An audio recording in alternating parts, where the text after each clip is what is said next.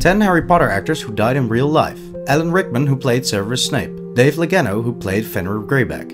Elizabeth Spriggs who played the Fat Lady. Helen McCrory who played Narcissa Malfoy. Richard Griffiths who played Vernon Dursley. Richard Harris who played Albus Dumbledore. Robert Hardy who played Cornelius Fudge. Timothy Bateson who voiced over Kreacher, Verne Troyer who portrayed Griphook.